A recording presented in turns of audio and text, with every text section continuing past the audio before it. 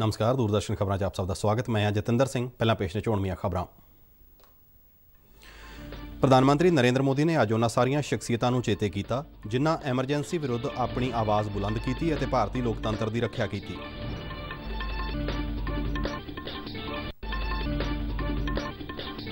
ਕੇਂਦਰੀ ਸਿੱਖਿਆ ਮੰਤਰੀ ਨੇ ਵਿਦਿਆਰਥੀਆਂ ਨੂੰ ਯਕੀਨ ਦਿਵਾਇਆ ਕਿ ਸੀਬੀਐਸਈ ਵੱਲੋਂ ਤਿਆਰ ਕੀਤੀ ਗਈ 12ਵੀਂ ਦੀ ਮੁਲਾਂਕਣ ਪ੍ਰਣਾਲੀ ਤਹਿਤ ਉਹਨਾਂ ਦੀ ਯੋਗਤਾ ਅਤੇ ਕਾਬਲੀਅਤ ਅਨੁਸਾਰ ਹੀ ਨਤੀਜੇ ਪ੍ਰਾਪਤ ਹੋਣਗੇ। ਰਮੇਸ਼ ਪੋਖਰੀਆਲ ਨਿਸ਼ੰਕ ਨੇ ਵਿਦਿਆਰਥੀਆਂ ਅਤੇ ਹੋਰ ਹਿੱਤਧਾਰਕਾਂ ਨਾਲ ਵਰਚੁਅਲ ਚਰਚਾ ਦੌਰਾਨ ਕਿਹਾ ਕਿ ਮੁਲਾਂਕਣ ਤੋਂ ਸੰਤੁਸ਼ਟ ਨਾ ਹੋਣ ਵਾਲੇ ਵਿਦਿਆਰਥੀਆਂ ਲਈ ਅਗਸਤ ਮਹੀਨੇ ਪ੍ਰੀਖਿਆ ਕਰਵਾਈ ਜਾਵੇਗੀ।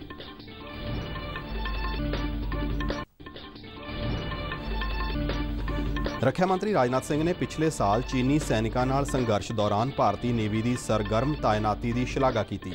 ਰਾਜਨਾਥ ਸਿੰਘ ਨੇ ਕੋਚੀ ਵਿੱਚ ਸਵਦੇਸ਼ੀ 에ਅਰਕ੍ਰਾਫਟ ਕੈਰੀਅਰ ਆਈਐਨਐਸ ਵਿਕਰਾਂਤ ਨੂੰ ਬਣਾਉਣ ਦੇ ਕੰਮ ਦੀ ਪ੍ਰਗਤੀ ਦੀ ਸਮੀਖਿਆ ਕੀਤੀ।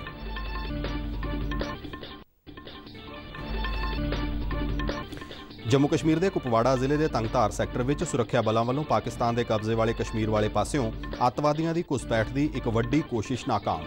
ਜੰਮੂ ਕਸ਼ਮੀਰ ਦੇ ਸ਼ੋਪੀਆਂ ਜ਼ਿਲ੍ਹੇ ਵਿੱਚ ਸੁਰੱਖਿਆ ਬਲਾਂ ਨਾਲ ਹੋਏ ਇੱਕ ਮੁਕਾਬਲੇ ਵਿੱਚ ਇੱਕ ਅੱਤਵਾਦੀ ਢੇਰ।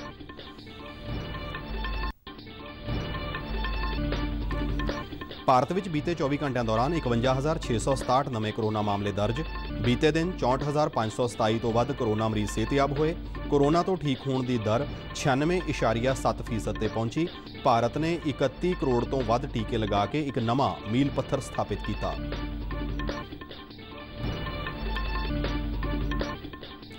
ਅੱਜ ਪੰਜਾਬ ਭਰ ਵਿੱਚ 6ਵੇਂ ਤਨਖਾਹ ਕਮਿਸ਼ਨ ਤਹਿਤ ਐਨਪੀਏ ਘਟਾਏ ਜਾਣ ਅਤੇ ਐਨਪੀਏ ਨੂੰ ਮੂਲ ਵੇਤਨ ਤੋਂ ਵੱਖ ਕਰਨ ਦੇ ਵਿਰੋਧ ਵਿੱਚ ਡਾਕਟਰਾਂ ਵੱਲੋਂ ਹੜਤਾਲ ਕੀਤੀ ਗਈ।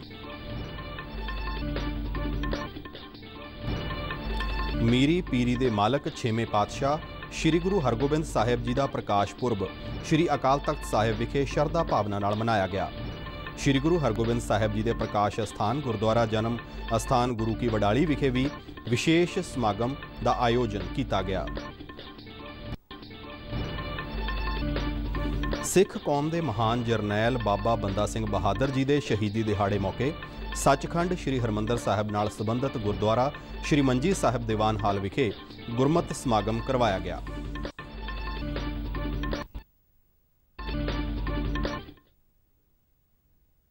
ਤੇ ਹੁਣ ਖਬਰਾਂ ਵਿਸਥਾਰ ਨਾਲ।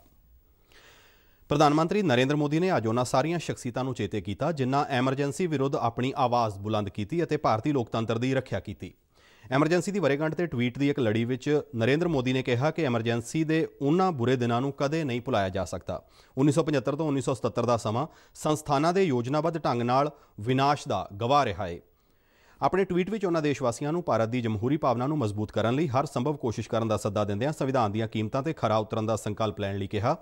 ਨਰਿੰਦਰ ਮੋਦੀ ਨੇ ਲਿਖਿਆ ਕਿ ਕਾਂਗਰਸ ਨੇ ਸਾਡੇ ਜਮਹੂਰੀ ਲੋਕਾਚਾਰ ਨੂੰ ਦਬਾਇਆ। ਉਹਨਾਂ ਕਿਹਾ ਕਿ ਅਸੀਂ ਉਹਨਾਂ ਸਾਰੀਆਂ ਸ਼ਖਸੀਅਤਾਂ ਨੂੰ ਚੇਤੇ ਕਰਦੇ ਹਾਂ, ਜਿਨ੍ਹਾਂ ਐਮਰਜੈਂਸੀ ਦਾ ਵਿਰੋਧ ਕਰਦਿਆਂ ਭਾਰਤੀ ਲੋਕਤੰਤਰ ਦੀ ਰੱਖਿਆ ਕੀਤੀ।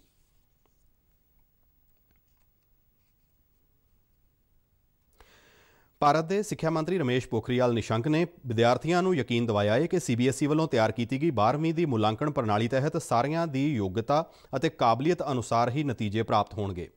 ਅੱਜ ਵਿਦਿਆਰਥੀਆਂ ਅਤੇ ਹੋਰ ਹਿੱਤਧਾਰਕਾਂ ਨਾਲ ਵਰਚੁਅਲ ਚਰਚਾ ਦੌਰਾਨ ਸਿੱਖਿਆ ਮੰਤਰੀ ਨੇ ਵਿਦਿਆਰਥੀਆਂ ਨੂੰ ਭਰੋਸਾ ਦਿਵਾਇਆ ਕਿ ਜੋ ਵਿਦਿਆਰਥੀ ਮੁਲਾਂਕਣ ਤੋਂ ਸੰਤੁਸ਼ਟ ਨਹੀਂ ਹੋਣਗੇ, ਉਹਨਾਂ ਵਾਸਤੇ ਸੀਬੀਐਸਈ ਵੱਲੋਂ ਅਗਸਤ ਮਹੀਨੇ ਵਿੱਚ ਪ੍ਰੀਖਿਆ ਕਰਵਾਈ ਜਾਵੇਗੀ। ਇਸ ਬਾਰੇ ਕਿਸੇ ਦੇ ਮਨ ਵਿੱਚ ਕੋਈ ਸ਼ੰਕਾ ਨਹੀਂ ਹੋਣੀ ਚਾਹੀਦੀ। ਰਮੇਸ਼ ਪੋਖਰੀਆਲ ਨਿਸ਼ੰਕ ਨੇ ਕਿਹਾ ਕਿ ਸਰਕਾਰ ਵਾਸਤੇ ਵਿਦਿਆਰਥੀਆਂ ਦੀ ਸੁਰੱਖਿਆ, ਸਿਹਤ ਅਤੇ ਭਵਿੱਖ ਉੱਚ ਤਰਜੀਹ ਹੈ ਜਿਸ ਦੇ ਮੱਦੇਨਜ਼ਰ ਪ੍ਰਧਾਨ ਮੰਤਰੀ ਦੀ ਅਗਵਾਈ ਵਿੱਚ ਇਤਿਹਾਸਕ ਫੈਸਲਾ ਲੈਂਦਿਆਂ ਸੀਬੀਐਸਈ 12ਵੀਂ ਦੀਆਂ ਪ੍ਰੀਖਿਆਵਾਂ ਰੱਦ ਕਰਨ ਦਾ ਫੈਸਲਾ ਕੀਤਾ ਗਿਆ। ਉਹਨਾਂ ਕਿਹਾ ਕਿ ਉਹ ਇਸ ਫੈਸਲੇ ਲਈ ਪ੍ਰਧਾਨ ਮੰਤਰੀ ਦਾ ਧੰਨਵਾਦ ਕਰਦੇ ਨੇ। ਸਿੱਖਿਆ ਮੰਤਰੀ ਨੇ ਸੀਬੀਐਸਈ ਦੇ ਪ੍ਰਸਤਾਵ ਅਨੁਸਾਰ ਫੈਸਲਾ ਸੁਣਾਉਣ ਲਈ ਸੁਪਰੀਮ ਕੋਰਟ ਦਾ ਵੀ ਧੰਨਵਾਦ ਕੀਤਾ। ਉਹਨਾਂ ਕਿਹਾ ਕਿ ਹਿੰਦੁਸਤਾਨ ਦੇ ਵਿਦਿਆਰਥੀਆਂ ਨੇ ਸਾਬਤ ਕਰ ਦਿੱਤਾ ਹੈ ਕਿ ਉਹ ਕਿਸੇ ਤੋਂ ਘੱਟ ਨਹੀਂ ਹਨ ਅਤੇ ਆਪਣੇ ਭਵਿੱਖ ਨੂੰ ਲੈ ਕੇ ਸੰਜੀਦਾ ਨੇ। ਉਹਨਾਂ ਵਿਦਿਆਰਥੀਆਂ ਨੂੰ ਆਪਣੇ ਪਰਿਵਾਰਾਂ ਦੇ ਨਾਲ ਰਲ ਕੇ ਮਹਾਮਾਰੀ ਦਾ ਮੁਕਾਬਲਾ ਕਰਨ ਲਈ ਸ਼ੁਭ ਕਾਮਨਾਵਾਂ ਦਿੱਤੀਆਂ।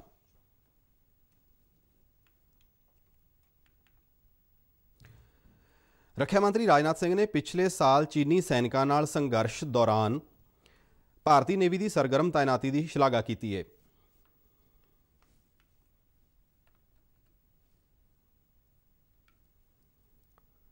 ਰਾਜਨਾਥ ਸਿੰਘ ਅੱਜ ਕੋਚੀ ਵਿੱਚ ਸਵਦੇਸ਼ੀ 에ਅਰਕ੍ਰਾਫਟ ਕੈਰੀਅਰ ਆਈਐਨਐਸ ਵਿਕਰਾਂਤ ਨੂੰ ਬਣਾਉਣ ਦੇ ਕੰਮ ਦੀ ਪ੍ਰਗਤੀ ਦੀ ਸਮੀਖਿਆ ਦੌਰਾਨ ਬੋਲ ਰਹੇ ਸਨ। ਰਾਜਨਾਥ ਸਿੰਘ ਨੇ ਕਿਹਾ ਕਿ ਉਸ ਸਮੇਂ ਭਾਰਤੀ ਨੇਵੀ ਦੀ ਅਗਲੇਰੀ ਪੋਜੀਸ਼ਨ ਤੇ ਤਾਇਨਾਤੀ ਇਸ ਗੱਲ ਦਾ ਸੰਕੇਤ ਹੈ ਕਿ ਭਾਰਤ ਚੀਨ ਦੀ ਦੁਸ਼ਮਣੀ ਨਾਲ ਨਜਿੱਠਣ ਲਈ ਪੂਰੀ ਤਰ੍ਹਾਂ ਤਿਆਰ ਸੀ। ਰੱਖਿਆ ਮੰਤਰੀ ਨੇ ਕਰਵਰ ਵਿੱਚ ਆਈਏਸੀ ਪ੍ਰੋਜੈਕਟ ਅਤੇ ਪ੍ਰੋਜੈਕਟ ਸੀਬਰਡ ਨੂੰ ਆਤਮ ਨਿਰਭਰ ਭਾਰਤ ਦੀ ਉੱਭਰਦੀ ਮਿਸਾਲ ਦੱਸਿਆ। ਉਹਨਾਂ ਕਿਹਾ ਕਿ ਮੋਦੀ ਸਰਕਾਰ ਇੱਕ ਮਜ਼ਬੂਤ ਜਲ ਸੈਨਾ ਬਣਾਉਣ ਲਈ ਵਚਨਬੱਧ ਹੈ ਉਹਨਾਂ ਕਿਹਾ ਕਿ ਪ੍ਰੋਜੈਕਟ 75 ਭਾਰਤ ਤਹਿਤ 6 ਪਣਡੁੱਬੀਆਂ ਹਾਸਲ ਕਰਨ ਦਾ ਭਾਰਤ ਦਾ ਹਾਲ ਦਾ ਫੈਸਲਾ ਅਤੇ ਸੀਬਰਡ ਅਤੇ ਆਈਏਸੀ ਵਿਕਰਾਂਤ ਵਰਗੇ ਉਪਰਾਲੇ ਭਾਰਤੀ ਜਲ ਸੈਨਾ ਦੀ ਪਹੁੰਚ ਵਿੱਚ ਇਜ਼ਾਫਾ ਕਰਨਗੇ। ਸਵਦੇਸ਼ੀ 에ਅਰਕ੍ਰਾਫਟ ਕੈਰੀਅਰ ਆਈਏਸੀ ਇਸ ਸਮੇਂ ਨਿਰਮਾਣ ਦੀ ਅਗਲੀ ਸਟੇਜ ਵਿੱਚ ਹੈ ਰੱਖਿਆ ਮੰਤਰੀ ਨੇ ਕਿਹਾ ਕਿ ਅਗਲੇ ਸਾਲ ਆਈਏਸੀ ਦਾ ਭਾਰਤੀ ਨੇਵੀ ਵਿੱਚ ਕਮਿਸ਼ਨ ਹੋਣਾ ਭਾਰਤ ਦੀ ਆਜ਼ਾਦੀ ਦੇ 75 ਵਰਿਆਂ ਨੂੰ ਇੱਕ ਢੁਕਵੀਂ ਸ਼ਰਧਾਂਜਲੀ ਹੋਵੇਗਾ। ਰੱਖਿਆ ਮੰਤਰੀ ਨੇ ਕਿਹਾ ਕਿ ਆਈਏਸੀ ਦੀ ਲੜਾਈ ਦੀ ਪਹੁੰਚ ਭਾਰਤ ਦੀ ਰੱਖਿਆ ਸਮਰੱਥਾ ਵਿੱਚ ਵੱਡੇ ਪੱਧਰ ਤੇ ਇਜ਼ਾਫਾ ਕਰੇਗੀ ਅਤੇ ਇਸ ਨਾਲ ਸਮੁੰਦਰੀ ਖੇਤਰ ਵਿੱਚ ਭਾਰਤੀ ਹਿੱਤਾਂ ਦੀ ਰੱਖਿਆ ਹੋ ਸਕੇਗੀ। ਰਾਜਨਾਥ ਸਿੰਘ ਨੇ ਇਸ ਕਰੋਨਾ ਕਾਲ ਦੌਰਾਨ ਸਵਦੇਸ਼ੀ 에ਅਰਕ੍ਰਾਫਟ ਕੈਰੀਅਰ ਦੇ ਉਸਾਰੀ ਦੇ ਕੰਮ ਵਿੱਚ ਲੱਗੇ ਨੇਵੀ ਦੇ ਅਧਿਕਾਰੀਆਂ ਦੇ ਕੰਮ ਦੀ ਭਰਪੂਰ ਸ਼ਲਾਘਾ ਕੀਤੀ। ਉਹਨਾਂ ਕਿਹਾ ਕਿ ਭਾਰਤ ਨੇ 42 ਜੰਗੀ ਬੇੜੇ ਦੇਸ਼ ਵਿੱਚ ਹੀ ਤਿਆਰ ਕੀਤੇ ਨੇ, ਜੋ ਸਾਡੇ ਦੇਸ਼ ਵੱਲੋਂ ਸਾਇੰਸ ਅਤੇ ਟੈਕਨੋਲੋਜੀ ਦੇ ਖੇਤਰ ਵਿੱਚ ਅੱਗੇ ਵਧਣ ਦਾ ਸਬੂਤ ਹੈ मित्रों, यदि मैं इंडियन नेवी की बढ़ती शक्तियों की बात करता हूँ तो इसका संबंध केवल हमारे टेरिटोरियल रीजन तक ही सीमित नहीं होता है। हमारे इंटरेस्ट इंडियन ओशन रीजन और इसके आगे के क्षेत्रों तक भी पूरी तरह से व्याप्त हैं, यदि मैं यहाँ के बारे में मैं बात करता हूँ। खासकर पश्चिमी प्रशांत महासागर और इस क्षेत्र के तमाम देशों के साथ हमारे इकोनॉमिक पॉलिटिकल और कल्चर ये रिलेशन हैं। और इस क्षेत्र में अक्सर तनावपूर्ण स्थितियाँ बराबर बनती रहती हैं। मैं कह सकता हूँ कि यह पूरा का पूरा क्षेत्र कंफ्लिक्ट हॉटस्पॉट बन गया है।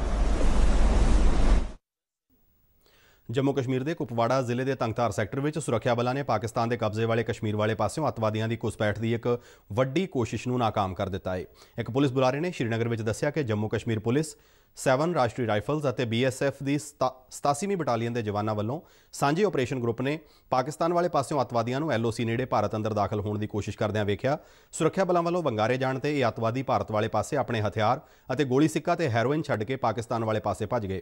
ਜਿਸ ਮਗਰੋਂ ਸੁਰੱਖਿਆ ਬਲਾਂ ਨੇ ਉਸ ਥਾਂ ਤੋਂ ਇੱਕ AK47 ਇੱਕ ਪਿਸਤੌਲ, ਦੋ ਗ੍ਰਨੇਡ ਅਤੇ ਗੋਲੀ ਸਿੱਕੇ ਤੋਂ ਇਲਾਵਾ 6 ਪੈਕੇਟ ਹੈਰੋਇਨ ਬਰਾਮਦ ਕੀਤੀ, ਜਿਸ ਦੀ ਕੌਮਾਂਤਰੀ ਬਾਜ਼ਾਰ ਵਿੱਚ ਕੀਮਤ 30 ਕਰੋੜ ਰੁਪਏ ਦੱਸੀ ਜਾ ਰਹੀ ਹੈ ਪੁਲਿਸ ਬੁਲਾਰੇ ਨੇ ਅੱਗੇ ਦੱਸਿਆ ਕਿ ਇਸ ਮਾਮਲੇ ਵਿੱਚ ਕਿਸੇ ਦੀ ਗ੍ਰਿਫਤਾਰੀ ਨਹੀਂ ਹੋਈ ਹੈ ਇਸੇ ਦੌਰਾਨ ਜੰਮੂ ਕਸ਼ਮੀਰ ਦੇ ਸ਼ੋਪੀਆਂ ਜ਼ਿਲ੍ਹੇ ਵਿੱਚ ਸੁਰੱਖਿਆ ਬਲਾਂ ਨਾਲ ਹੋਏ ਇੱਕ ਮੁਕਾਬਲੇ ਵਿੱਚ ਇੱਕ ਅੱਤਵਾਦੀ ਮਾਰਿਆ ਗਿਆ। ਸਰਕਾਰੀ ਸੂਤਰਾਂ ਅਨੁਸਾਰ ਸੁਰੱਖਿਆ ਬਲਾਂ ਨੂੰ ਹਾਜੀਪੁਰਾ ਵਿੱਚ ਅੱਤਵਾਦੀਆਂ ਦੀ ਮੌਜੂਦਗੀ ਬਾਰੇ ਸੂਹ ਮਿਲੀ, ਜਿਸ ਮਗਰੋਂ ਸਾਂਝੇ ਤੌਰ ਤੇ ਘੇਰਾਬੰਦੀ ਕਰਕੇ ਤਲਾਸ਼ੀ ਅਭਿਆਨ ਵਿੱਢਿਆ ਗਿਆ। ਸੁਰੱਖਿਆ ਬਲ ਜਦ ਇੱਕ ਖਾਸ ਥਾਂ ਵੱਲ ਅੱਗੇ ਵਧ ਰਹੇ ਸਨ ਤਾਂ ਉੱਥੇ ਲੁਕੇ ਹੋਏ ਅੱਤਵਾਦੀਆਂ ਨੇ ਆਟੋਮੈਟਿਕ ਹਥਿਆਰਾਂ ਨਾਲ ਉਹਨਾਂ ਤੇ ਫਾਇਰਿੰਗ ਸ਼ੁਰੂ ਕਰ ਦਿੱਤੀ। ਸੁਰੱਖਿਆ ਬਲਾਂ ਵੱਲੋਂ ਜਵਾਬੀ ਫਾਇਰਿੰਗ ਵਿੱਚ ਇੱਕ ਅੱਤਵਾਦੀ ਮਾਰਿਆ ਗਿਆ। ਇਸ ਘਟਨਾ ਤੋਂ ਬਾਅਦ ਨੇੜਲੇ ਕੈਂਪਾਂ ਤੋਂ ਵਾਧੂ ਫੋਰਸ ਭੇਜੀ ਗਈ ਅਤੇ ਇਲਾਕੇ ਨੂੰ ਸੀਲ ਕਰ ਦਿੱਤਾ ਗਿਆ ਤਾਂ ਜੋ ਮਿਲੀਟੈਂਟ ਇੱਥੋਂ ਬਚ ਕੇ ਨਾ ਨਿਕਲ ਸਕਣ। ਇਲਾਕੇ ਵਿੱਚ ਕਾਨੂੰਨ ਅਤੇ ਪ੍ਰਬੰਧ ਦੀ ਸਥਿਤੀ ਬਹਾਲ ਰੱਖਣ ਲਈ ਵਾਧੂ ਸੁਰੱਖਿਆ ਬਲਾਂ ਦੀ ਤਾਇਨਾਤੀ ਵੀ ਕਰ ਦਿੱਤੀ ਗਈ ਹੈ ਆਖਰੀ ਖਬਰਾਂ ਆਉਣ ਤੱਕ ਆਪਰੇਸ਼ਨ ਅਜੇ ਜਾਰੀ ਸੀ। ਭਾਰਤ ਵਿੱਚ ਬੀਤੇ 24 ਘੰਟਿਆਂ ਦੌਰਾਨ 51667 ਨਵੇਂ ਕਰੋਨਾ ਮਾਮਲੇ ਦਰਜ ਹੋਏ। ਇਸ ਸਮੇਂ ਦੌਰਾਨ 64527 ਤੋਂ ਵੱਧ ਕਰੋਨਾ ਮਰੀਜ਼ ਸਿਹਤਯਾਬ ਹੋਏ, ਜਿਸ ਮਗਰੋਂ ਕਰੋਨਾ ਤੋਂ ਠੀਕ ਹੋਣ ਵਾਲੇ ਲੋਕਾਂ ਦੀ ਸੰਖਿਆ 2 ਕਰੋੜ 91 ਲੱਖ 28 ਹਜ਼ਾਰ ਤੋਂ ਪਾਰ ਹੋ ਗਈ ਹੈ ਕੇਂਦਰੀ ਸਿਹਤ ਮੰਤਰਾਲਾ ਅਨੁਸਾਰ ਲਗਾਤਾਰ 43ਵੇਂ ਦਿਨ ਕਰੋਨਾ ਤੋਂ ਠੀਕ ਹੋਣ ਵਾਲਿਆਂ ਦੀ ਸੰਖਿਆ ਨਵੇਂ ਕਰੋਨਾ ਮਾਮਲਿਆਂ ਤੋਂ ਵੱਧ ਦਰਜ ਕੀਤੀ ਗਈ। ਕਰੋਨਾ ਤੋਂ ਠੀਕ ਹੋਣ ਦੀ ਦਰ ਵਿੱਚ ਹੋਰ ਸੁਧਾਰ ਦਰਜ ਕੀਤਾ ਗਿਆ ਹੈ ਜੋ ਇਸ ਸਮੇਂ 96.7% ਤੇ ਪਹੁੰਚ ਗਈ ਹੈ ਮੰਤਰਾਲਾ ਅਨੁਸਾਰ ਦੇਸ਼ ਵਿੱਚ ਐਕਟਿਵ ਕਰੋਨਾ ਮਾਮਲਿਆਂ ਵਿੱਚ ਹੋਰ ਕਮੀ ਦਰਜ ਹੋਈ ਹੈ ਇਸ ਸਮੇਂ ਭਾਰਤ ਵਿੱਚ 6 ਲੱਖ 12 ਹਜ਼ਾਰ ਤੋਂ ਵੱਧ ਕਰੋਨਾ ਦੇ ਐਕਟਿਵ ਮਾਮਲੇ ਨੇ। ਇਸੇ ਦੌਰਾਨ ਦੇਸ਼ ਵਿੱਚ ਕੋਵਿਡ ਟੀਕਾਕਰਨ ਤੇਜ਼ੀ ਨਾਲ ਜਾਰੀ ਹੈ। ਭਾਰਤ ਨੇ 31 ਕਰੋੜ ਤੋਂ ਵੱਧ ਟੀਕੇ ਲਗਾ ਕੇ ਇੱਕ ਨਵਾਂ ਮੀਲ ਪੱਥਰ ਸਥਾਪਿਤ ਕੀਤਾ ਹੈ ਪੰਜਾਬ ਵਿੱਚ ਅੱਜ Punjab government doctors coordination committee ਦੇ ਸੱਦੇ ਤੇ ਡਾਕਟਰਾਂ ਵੱਲੋਂ ਹੜਤਾਲ ਕੀਤੀ ਗਈ। ਹੜਤਾਲ ਦਾ ਸਮਰਥਨ ਕਰਨ ਵਾਲੀਆਂ ਜਥੇਬੰਦੀਆਂ ਵਿੱਚ Punjab civil services officers association, Punjab state veterinary association, Punjab medical teachers association, rural medical officers association Punjab dental medical officers association ਅਤੇ ਪੰਜਾਬ ਆਯੁਰਵੇਦ ਆਫੀਸਰਜ਼ ਐਸੋਸੀਏਸ਼ਨ ਸ਼ਾਮਲ ਸਨ।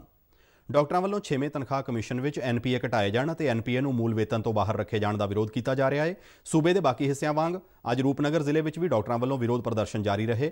ਰੂਪਨਗਰ ਦੇ ਸਰਕਾਰੀ ਹਸਪਤਾਲ ਦੀ ਓਪੀਡੀ ਦੇ ਬਾਹਰ ਡਾਕਟਰਾਂ ਅਤੇ ਹੋਰ ਮੈਡੀਕਲ ਸਟਾਫ ਨੇ ਪੰਜਾਬ ਸਰਕਾਰ ਵਿਰੁੱਧ ਜ਼ੋਰਦਾਰ ਨਾਅਰੇਬਾਜ਼ੀ ਕੀਤੀ।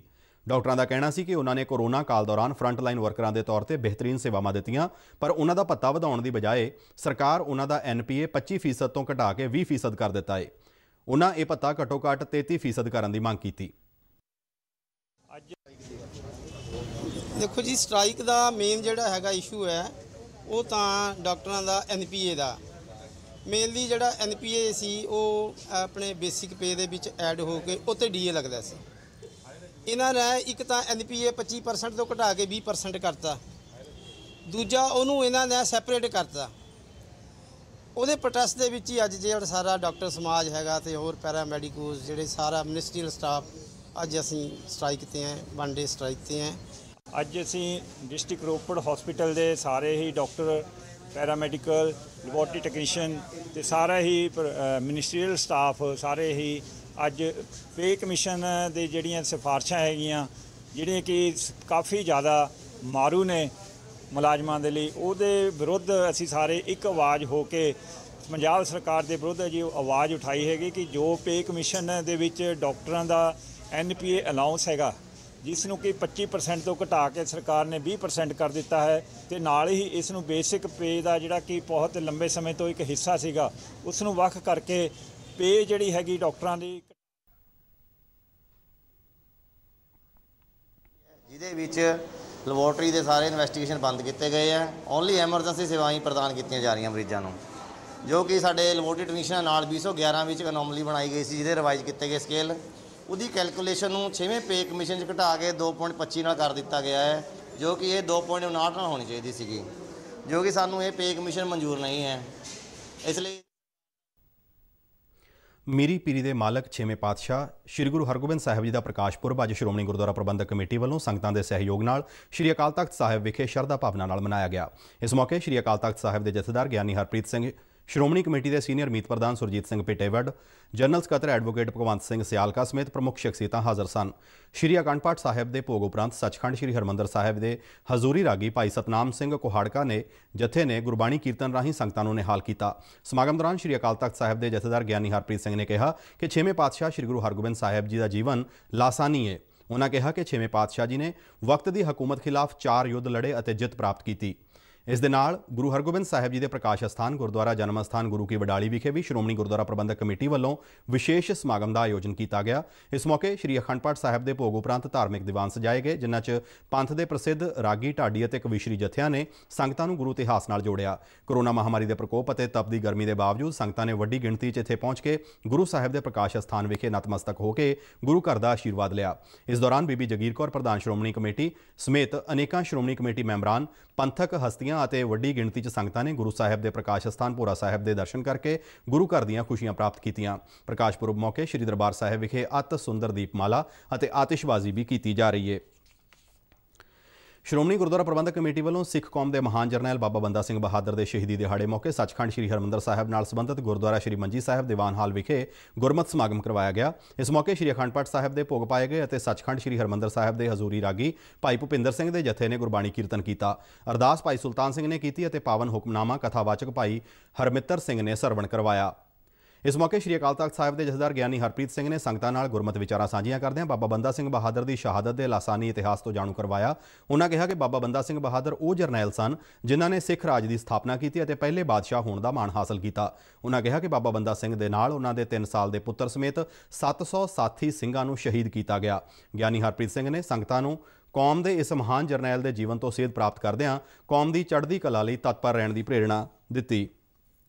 ਉੱਤਰ ਪ੍ਰਦੇਸ਼ ਦੇ ਬਲਰਾਮਪੁਰ ਵਿੱਚ ਇੱਕ ਕਾਰ ਦੇ ਇੱਕ ਨਾਲੇ ਵਿੱਚ ਡਿੱਗ ਜਾਣ ਕਾਰਨ ਵਾਪਰੇ ਹਾਦਸੇ ਵਿੱਚ ਇੱਕੋ ਪਰਿਵਾਰ ਦੇ 6 ਲੋਕਾਂ ਦੀ ਦਰਦਨਾਕ ਮੌਤ ਹੋ ਗਈ। ਦੱਸਿਆ ਜਾ ਰਿਹਾ ਹੈ ਕਿ ਇਹ ਕਾਰ ਇੱਕ ਮੋਟਰਸਾਈਕਲ ਸਵਾਰ ਨੂੰ ਬਚਾਉਣ ਦੀ ਕੋਸ਼ਿਸ਼ ਕਰਦਿਆਂ ਬੇਕਾਬੂ ਹੋ ਕੇ ਨਾਲੇ ਵਿੱਚ ਪਲਟ ਗਈ। ਇਸ ਹਾਦਸੇ ਵਿੱਚ ਮੋਟਰਸਾਈਕਲ ਸਵਾਰ ਨੌਜਵਾਨ ਵੀ ਗੰਭੀਰ ਜ਼ਖਮੀ ਹੋਇਆ ਹੈ, ਜਿਸ ਨੂੰ ਬਹਿਰਾਈਚ ਦੇ ਇੱਕ ਹਸਪਤਾਲ ਵਿੱਚ ਦਾਖਲ ਕਰਵਾਇਆ ਗਿਆ ਹੈ। ਇਸ ਨਾਲ ਹੀ ਸਾਡਾ ਖਬਰਾਂ ਦਾ ਬੁਲੇਟਿਨ ਸਮਾਪਤ ਹੁੰਦਾ ਹੈ। ਇਜਾਜ਼ਤ ਦਿਓ। ਨਮਸਕਾਰ।